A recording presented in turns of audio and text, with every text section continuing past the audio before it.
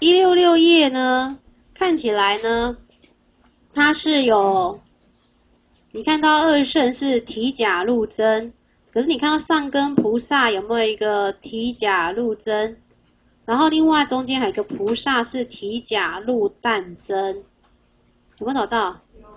有哈。那另外这里面呢，这个两个第一个二圣跟上根菩萨，各位可以参考一百七十五页的下面有做一个比较。一百七十页上面有个比较，像那个部分呐，十六行的部分，藏跟通啊，他有说第一个呢，你有些可以写，帮我写上在先的前面，先断界内货有没有写上去？写上一，然后呢，而而上面写上二，你总是先断界内货，然后第二步它是呢，这是先断界内货，而他未曾呢修习假中的人呐。那他就必须到第十七行的后面，他说叫做次第历劫来修行。然后他的第二个第十九行，进而断三道，进断三道正三德相应独头啊，那就是指那个说我们一般在唯识里面讲的独头意呀，独头意识。那他的资本啊，全部都会去，就是资本烦恼各种资末烦恼、根本烦恼，那个资本的意思，资本资末烦恼跟根本烦恼，他都会去呀。都可以去除掉啊，所以呢，这前面的第一个部分啊，是西体二圣跟通教菩萨。那再来呢，第二十一行是别圆的部分，别教跟原教，别教跟原教啊，它是通货先进，别货被服啊。通货就是在界内的部分，那别货呢，就是属于界外的部分。生比界者，神根吉利啊，但修中观。自比三道啊，那这时候当他去时的时候啊，这第二十二行的二十三行的后中间开始去时独头意去啊，就是他一些烦恼弟弟就那些独头资本皆去，跟上面一样。弟弟虽有智啊，虽然都在智慧有增长，可是每一个智慧在增长的时候，因为他无名还没有完全尽，对不对？还没完全去尽，所以说二十四行说他的智慧都是跟无名是相杂的，这是可以理解的吗？可以嘛？因为他还没有完全清净。那因为二十四行说，因为还有清净的关系，所以还没有清净的关系，所以说就呼他这个时候叫做智障。为什么叫做智障？因为障上分智的关系，因为有障上分智的关系呀。所以二十五行的后面只有佛的心中没有无名，无无名就是没有无名呐。那这时候呢，他才是所谓的不会有所谓的智障的问题。好。这就是他的菩萨的一些比较的部分呢。来，回来，那再来呢？各位可以看到，在这地方呢，一百七十四页的地方，一百七十四页开始，你看到一百七十四页的是，一百七十四页，各位有烦恼吗？一百七十四页是要介绍他在断货，断货。然后你看到一百七十四页介绍断货，断货断完以后，它的总结是结在刚才我念的那一段，对不对？就是结在刚才我念的地方，然后呢，到了一百七十八页，各位跟着翻哦。现在你要是翻书哦，你看到一百七十四页是在讲它的断货，一百七十八页是在讲它的未接，然后呢，未接讲的时候讲好以后，他在一百八十一页的时候，他在讲他说什么教法，他用什么教法来是说，那一百八十页的地方，他讲的是他们的关心。观怎么去观，就是一百八十页的第二十行到二十三行，我们看到他在介绍观心。一百八十页的二十行到二十三行，介绍他的观心。像藏教呢，他的观心二十行，他是观因缘生灭无常；通教是观因缘即空；别教呢是观分别教计；原教是观心即是佛性，都有哈。然后他介绍你的关心，介绍完以后，他就告诉你这有藏通别圆，它有各种关心方法。那介绍完这些关心方法了以后呢，他就会让你就应该要配合上说他怎么样去断货啊？你各位看到一百七十四页，他要告诉你怎么断货。断货的部分呢，一百七十五页的下面，我刚才有介绍像藏跟通别圆，对不对？那现在看一百七十四页的部分，如果是在迷权理的部分。迷权的部分，迷权理的部分呢，那就要空观，由空观来做，由修空观，因为空观能够对治界内一切的惑啊，它能够对界内一切惑。那它怎么样来对呢？它底下就先有列一个十二因缘，有没有找到十二因缘？那这十二因缘呐，叫做十二轮呐，跟互为因果啊。你可以说十二个本身是一个链，对不对？十二个有一个生灭门，还有叫做还灭门，对不对？流转门跟还灭门呐都有。那流转的话都互为因果啊。那如果你从三者来看的话，另外叫做烦恼。所有的烦恼都把它归在业，烦恼都归在业，总共归起来的话会有两个，哪两个是烦恼啊？烦恼通业，烦恼应该是有几个？有三个啊。无名跟什么？爱取啊，无名跟爱取，无名是一对对，然后呢，爱取两个是现在的货嘛，对不对？现在货叫做二，所以说货有三呐，三。然后他说，在通业，你会有两个业，业有二一加一，哪两个？行跟有，好一加一。那再来是苦，苦的部分呢，总共有七个，现在有五个，未来有两个，对不对？是哪个？是名色六路触受跟生老死。所以说要配合起来，就是各位刚才画的那一个 PowerPoint 的三个链子的，就是你货的部分有三个。就是有无名是一，爱取是现在的，然后由因祸造业，业的部分就是有行还有由，因此呢，行有二者是为业，由业而后必须要受苦。以现在来说，四名色六路畜兽；以未来来说的话，有生老死，这样加起来就是所谓的一般叫做说三生二，二生七，三二七，一般有这样讲法。有的画边有的叫做什么二一，这样子也可以，就是现在以两个两个对，好，这是他说互为因果，称为三三者啊，就是三藏。那三藏呢，因为它本身又可以，你在当中你可以看到你有成修行的机会，又称为三道，又有三道。这在那菩提心要里面有介绍，就是那个转三藏为三道，而后三道为三德。再来二十一行啊，三世间隔分为分段生死啊，那这样子的话呢，复地理不得解脱是为病呐，就他的病呐，是因为他不是说身体怎么样病，是他没办法契入地理啊，契入真理，法身慧命生病了，是法身慧命生病啦，那是法身慧命生病了，要给他药啊，那这时候他的药啊。本身呢，因为他在界内，他根本你给他界外药，他还用不上，还没办法用到。他现在眼前最急的是界内的药，所以他给他叫做从甲入空关呐，从甲入空的这个关法。好，再来一百七十五页啊，那现在他是要界外啦，是迷死里啦，是界外相应呐，以在只有界外相应，独头啊，整整的无名呐。那这个界外的话呢？他把它数，这是种种的十二因缘呐，把它合为叫做四种障，车成四种障。这四种障就是在宝心论它里面用宝心论的缘相生坏呀。它这个缘呢，就把它归在烦恼，相是归为业，生跟坏归为苦啊。然后扯起来也是一样，就是祸业苦，一样都是祸业苦啊。他说那这里面这个祸啊，可以由入甲跟入中观两者而治啊。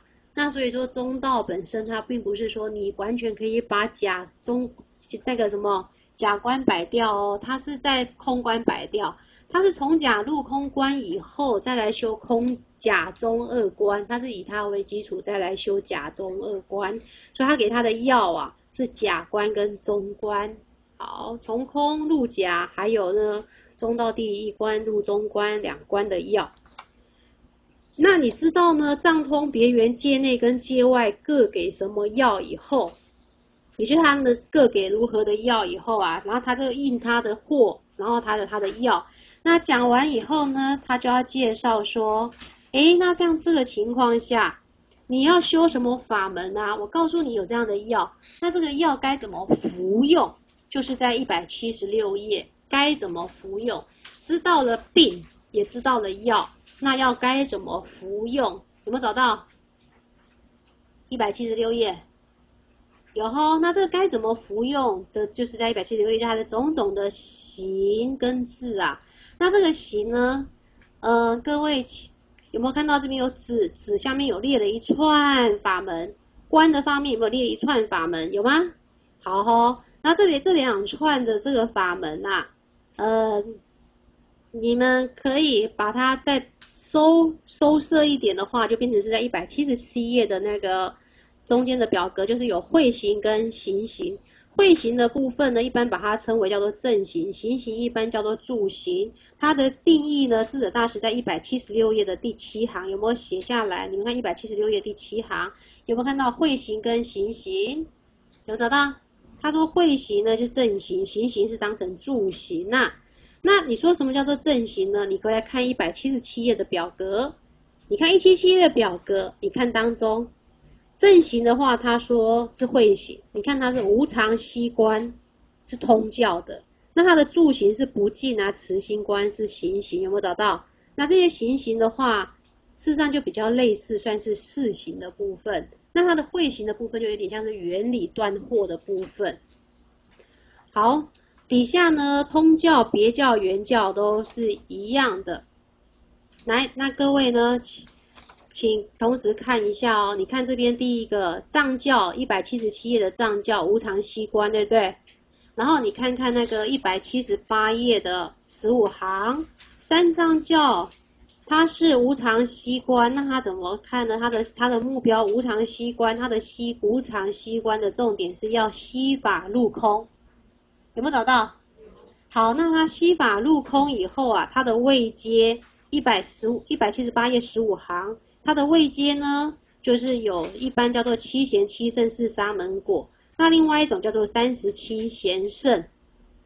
那他们这个地方就是三藏教，所以三藏教一般把它称为叫做西空观。所以说为什么它是西无常？西无常，而且它重点是要最后要入空。所以我们不要有时候西无常，现在还不知道自己的目标是什么，它是要入空。好，那这个西无常入空观一百八十页。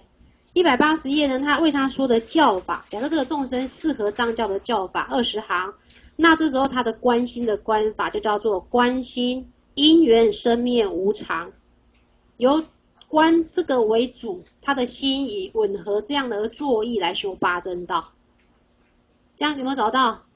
好，那配合起来的话，它的一般经典上面来讲的话，就是一百八十页第五行。也就是说，关心因缘生法生灭者啊，这大部分就是一般我们在讲的，就是属于三藏里面的四阿含教。如果以天台来讲，有五位的话，就是如若生疏手书里面的汝。这样 OK 了吗？所以这本书啊，第四章是要这样看着的，它每一个都要配合前后横着看，OK 吗？好，再再我们再继续哈，往下一百七十七页表格。你看，你各位可以看到，说像那个通教，通教是提法如幻化，它的重点是幻化，而且它是用提法的，就是直接能够提解进去的，不是用慢慢一个一个分析，而是提法的。它的重点是提提法如幻化，它当然是提法字哦。那各位看到一它的提法如幻化呢，一百七十八页第十八行，那个通教的位阶，它提法如幻化，它最后所证的位阶啊。它是提法，它的重点是放在入空，找到吗？十八行入空，它是属于三圣共位，它的位阶是从前会地一直到八地，前会地一直到八地都是属于入空子观所设啊，都是属于入空子观所设。那它的观心的方法在一百八十页的二十一行，它是观什么？因缘即空。观因缘即空这个的整理啊，在我给你们的十九页讲义里面都有，就是在很早期有一次给你们的第十、第十还是第十一次上课，给你们一大叠讲义，对不对？那里面都有整理这些表格，十二因缘的表格都整理好。它是观心即因缘即空啊。那这种像通教的呢，各位可以看一下通教的话呢，即空的部分一百八十一页的第十第六行，观心即空的话，那是共波了，属于弱。属于弱的，好，再来往回来，别教的部分一百七十七页，他说呢，这地方它的重点有看到一个化众生，为什么这时候才出现化众生？为什么藏教跟通教不谈化众生？那时候他是泥菩萨，还是泥菩萨了？他像那个藏教的菩萨，他说他根本在修人天法，他是一个毒气。它虽然好像要给你甘露，可是因为它本身是身体，它事实上是三毒未尽啊。任何法它做出来难免杂毒啊，所以的话，它实际上是一个毒气啦，如毒气装甘露啦。那这个甘露也变成是毒啊，所以他把它归在人天圣，他所修的是很多福报是为他好，好像可是说你是那些东西无关解脱，是属于人天福报而已。好，那再来看头别教，它这个地方有个化众生。那化众生呢？修道种子啊，原属理属于慧行啊，它这是原属理的部分哦。那各位来翻一下，那这个地方它是从哪个基础上来修道种子？一百七十八页二十行，它的重点呐是放在甲，从甲从甲入空观，把从空入假观，它重点是在空已经体空了，有空慧的基础上来修假，那这个假就是化众生。入甲，这个入甲就是修慈悲、修化众生，所以说在他的慧呢，是已经以空慧为基础上来再来修甲。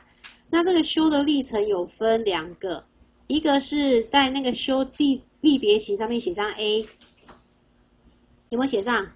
那这个 A 有写完叫做三观，次第三观，立别行叫做次第三观。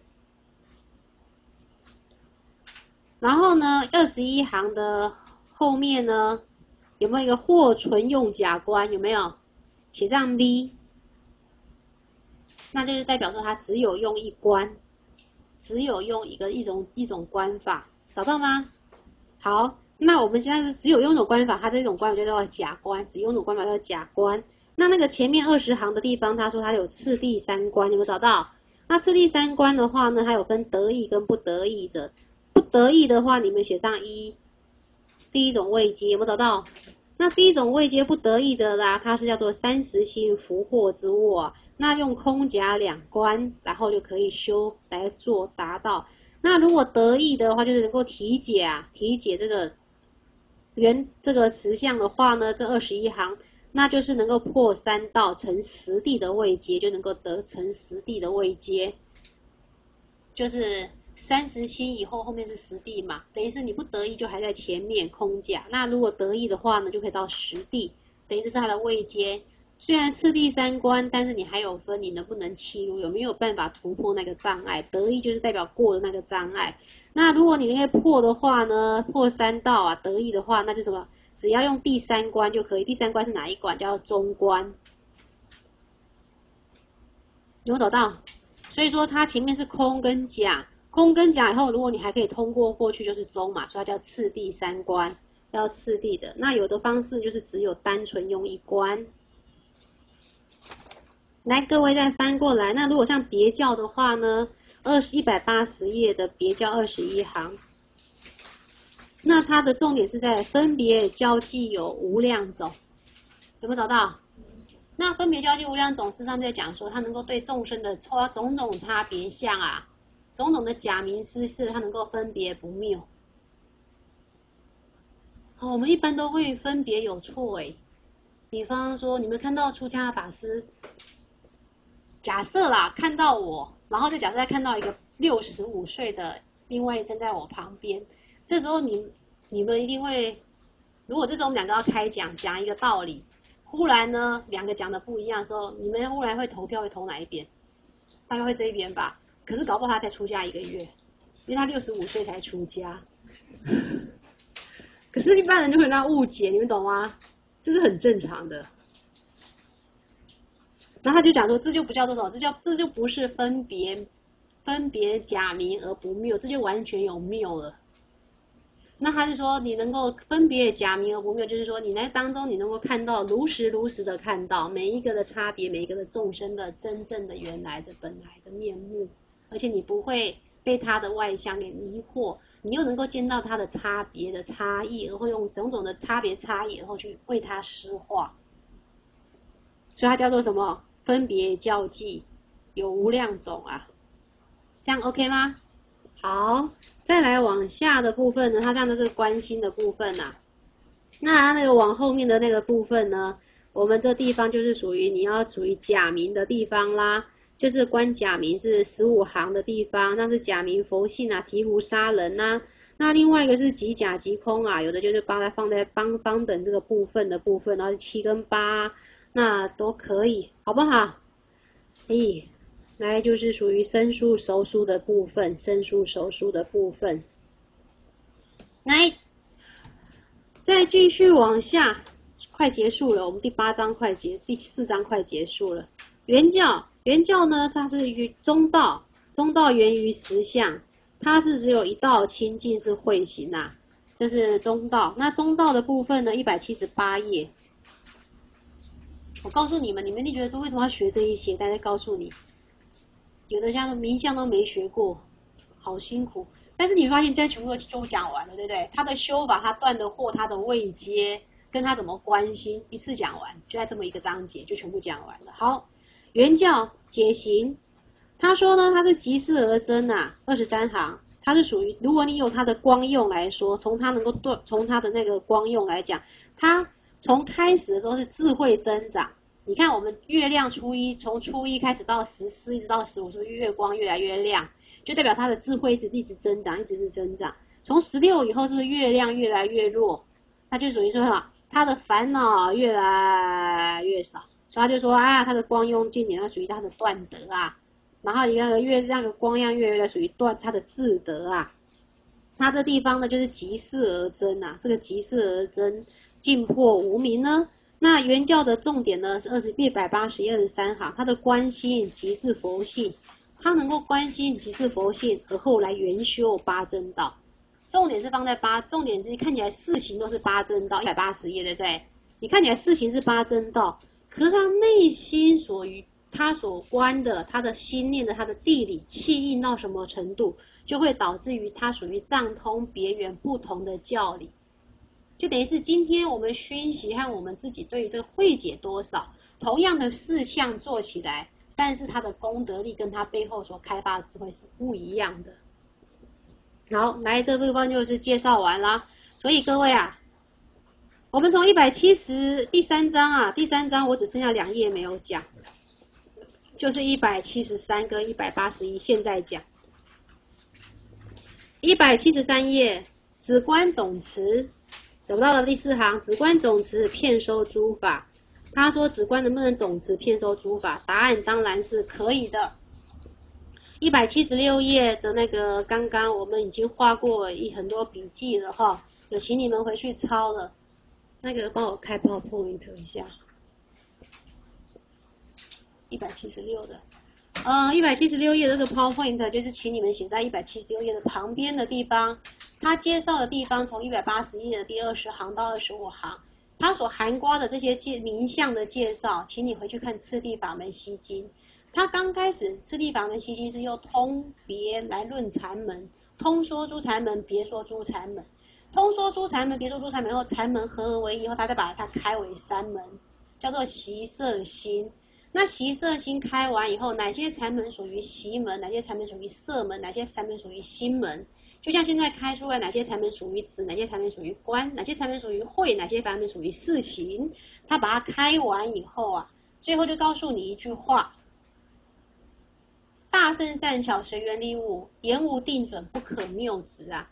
你今天从不同的角度来看一个禅门，这个禅门的比例又不一样。今天同样的一个事法在修，但是它内后圆心的关心的地理不同，这个禅门它也就可以从凡夫禅法的四禅变成圣人的禅法，这样可以吗？它重点是放在你的关心的时候，所以刚刚我们是在一百八十页，就让你们回来看一下一百八十页。一百八十页的二十行开始，你有放到二十行的后面有没有？大概中间偏后方有个八真道。好，你再看到那是藏教。二十一行的中间偏左方有没有八真道？好，在二十二行的最后面有没有一个八真道？有。二十三行的中间偏右方有八真道？有，都在修八真道。可是为什么有藏通别圆差别？差在它的关心呢？前面冠上不同的关心。所以说，新的地理不一样的时候，你修出来的看起来事项一样，它背后达到的效果，跟它所断的烦恼是不一样的。所以为什么一直强调你们要正思维，要善作，要学会禁律？希望你们做一件事情能够达到一百倍、一千倍的功效。既然要做了嘛，就做最有效的事情。好，来，再来呢，回来一百七十三页，一百七十三页六六亿的次第有没有写？有没有找到表格？六亿的次第上面写上次第。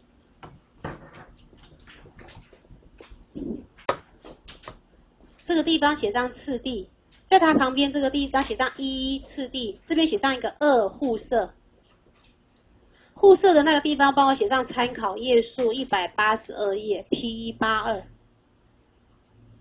这边写上一个互色，相互的互，收色的色。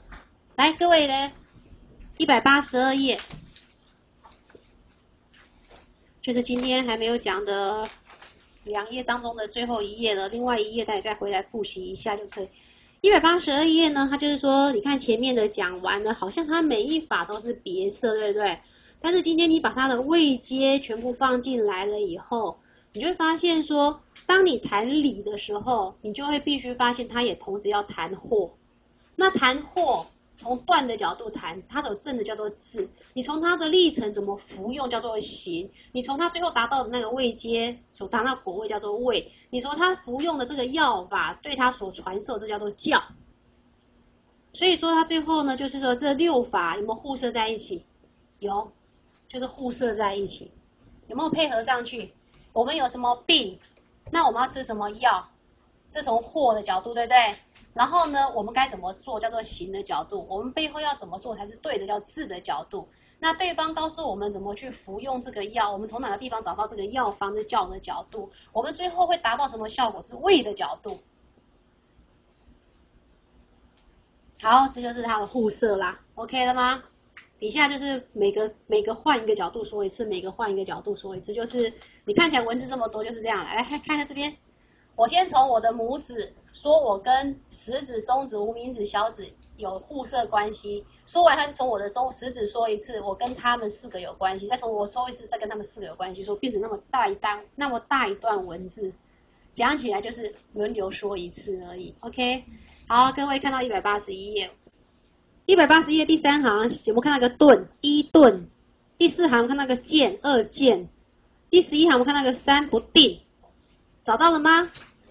好，就是它这地方有分三种子观：盾子观、见子观跟不定子观。三种子观。好，盾子观只有一种，就是关心极甲集中者。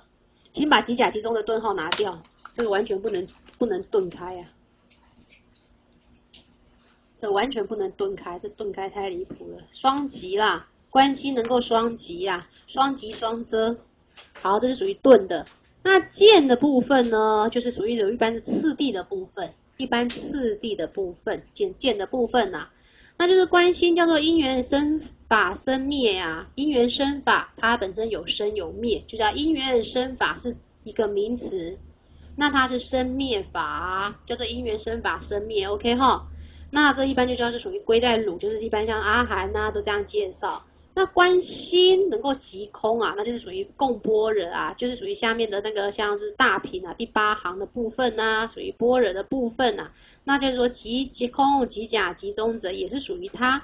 那另外一个方等的部分是第七行，他说观心是因缘，这个因缘生法呢，你观它要分开观，先观它即空，再观它即假，再观它即中啊。这一般就是次第说、分别说啊，那是属于方等。一般在方等的里面来谈的，那属于生疏的生疏法、生疏位。后面的乳酪生疏、熟疏、醍醐是属于一般我们讲的五味，一二三四五的五味觉得味是五味哈。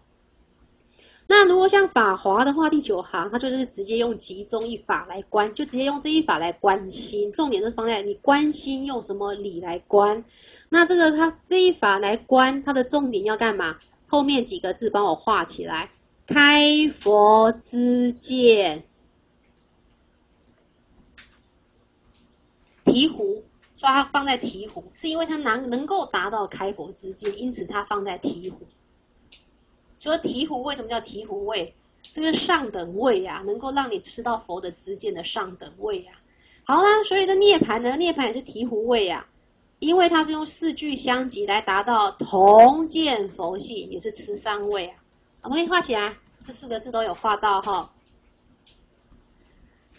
好啊，这是见次止观，那再来看一个不定止观呐。不定止观要请你们帮我画一下，你看到没有？看到那个我打方框的是什么？因缘虚空即空即假，先假名即中嘛。可是它后面都跟了四个字，叫做即是佛性，即是佛性，即是佛性，即是佛性，即是佛性。有没有找到？哎，然后后面呢就看到我们看到鲁中杀人，洛中杀人，生疏杀人，熟疏杀人，醍醐杀人。哇，怎么都在杀人呢？这个杀人的意思就叫做见佛性，就是一般我们常常讲的叫做真道损身。我们一般都喜欢生嘛，可是这个生它是说所谓的就是后有的，你还会轮回。所以说，当你能够真道，事实上就是在损身，不要再在这轮回里面再去走了。然后这个见佛性，因此他就说杀人，杀凡夫心呐。不要再有凡夫了，OK，好不好？好，所以呢，这是不定止观呐。它重点是说，放在你用什么方法能够见佛性，见佛性。来，各位再看一下哦，第十九行有没有找到？如果你有铅笔的话，你这个帮我往上一点点，这往上你有画。好，来，你们这样子略色如上，你画一条线，然后从这边牵过去，这样画上来。这样子哈，然后这样子切下来，代表这边从这个上面叫略色，从这里叫做广色。略色的话，看起来就有四三种止观呐。那如果你广设的话呢，事实上是无量教法皆是从心而出。二十二行没找到？二十二行，那它的解说在一百七十六页它已经有讲，因为它这边在做结尾。那无量教法从心而出是什么意思？它前面一百七十六页我们刚才都有说了。那如果是呢？二十四行的话呢，他说破尘出卷，养血空经呐，在一百八十页的这边来介绍一下，有没有找到？一百八十页，你们我刚才念的字你们找到吗？我再念一次，一百八十一页二十二行，八个字，无量教法从心而出，找到没有？好。这个地方呢，就是请各位回去呢，你们刚才有抄一个笔记，就是说，我们一般应该讲说，能生能生的是心，由心而后生诸法，这个部分你们去抄那段笔记就可以了。所以他说，由心无量教法由心而出，这样可以理解。好，再来呢，那个二十四行八个字，在中间偏左方，破尘出卷，养血空经，找到吗？好。为什么他讲破尘出卷呢？在一百八十页的部分，你帮我回到一百八十页一下，一百八十页在下在上面第八行的部分，再下来一点，在这个怎么样？我要中间这一块，让我一次可以讲，这样 OK 好。就是说，这里面呢，你可以看到说，他说。一切祭祀他全部的所有三藏、三藏十二部经呐，记在一围城中，记在一围城中。然后这以这个围城当中呢，如果你能够以方便破出此经，就可以做益他的动作。这是属于围城，一般讲的叫做围城记经，属于有为语。另外一个方式呢，是约空的角度来看。那约空的角度来看呢，他就说把这十二部经呐。养书在虚空，养书在虚空，然后以这个空写在空中的经来为众生做一个教导的动作。所以它这个破尘出空的意思就是，你能够破有为法，而后来出无为法。它是从这个典故过来的。好，今天就上到这里，第四章讲完了，下礼拜就介绍一百六十七页开始到一百七十二页。